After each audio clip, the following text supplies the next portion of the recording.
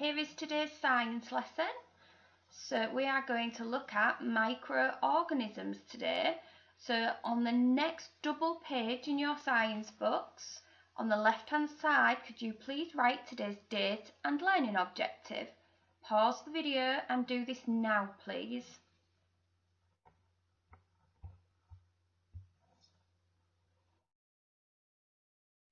Okay, so far we have looked at classifying animals and plants, but today we're going to be looking at a different type of living thing, okay?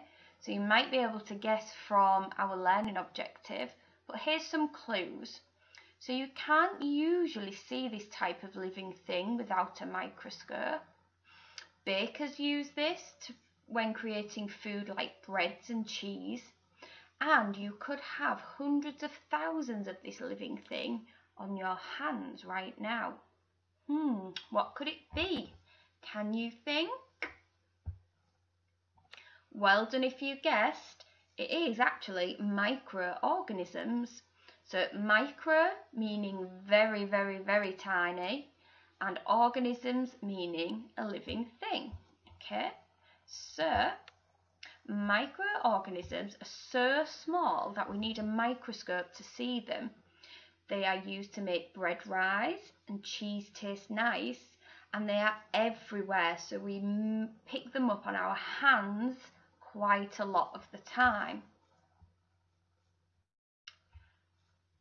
On your screen you can now see a definition of what a microorganism is. Okay, so they cannot be seen by the naked eye, and hundreds of them could fit on the full stop at the end of this sentence. They are found everywhere, and they are the largest group of living things on our planet. There are trillions of them on Earth. So what I would like you to do under your learning objective is copy this definition into your books. Okay? Do this now for me. Pause the video. So now what I want you to think about is, are microorganisms good or bad? Hmm, have a think.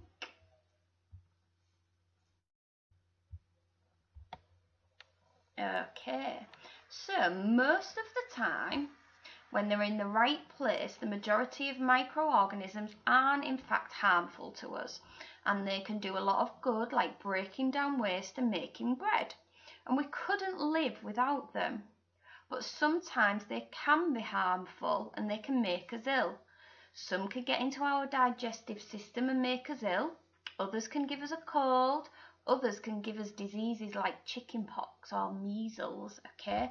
So it's really important to know about microorganisms. So today we are going to do a practical experiment. Now, you will have all seen mould. Okay, so we are going to do an experiment today called the mouldy bread experiment. Okay, so as a type of microorganism, what makes mould grow? Hmm, that is my question for you guys today. So the reason we want to investigate this is so that we can stop it happening and keep our food fresher for longer.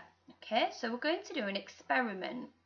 You are going to use two slices of bread and the two clear plastic bags I put in your folder last week.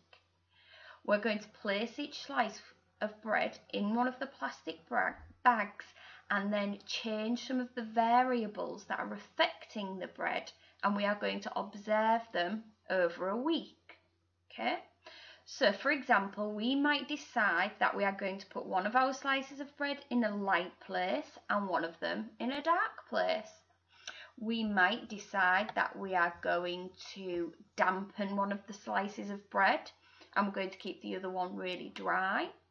We might decide that we're going to put one of the slices of bread in a very, very cold place like the freezer and the other in a very, very warm place maybe like over a radiator or next to the radiator. Okay, so the rest of our lesson we're going to spend preparing this investigation and writing it up in our books. And then over the next week, you are going to do lots of observations every day to check what is happening. and keeping in our mind we are looking for does mould grow and how does it grow? So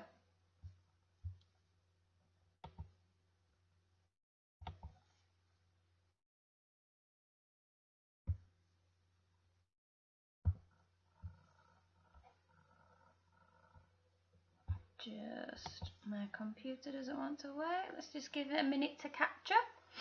So when my computer decides to work in the next couple of minutes I am going to show you a waggle of this experiment that I did in my book okay? And this by the end of this lesson this is hopefully what yours will also look like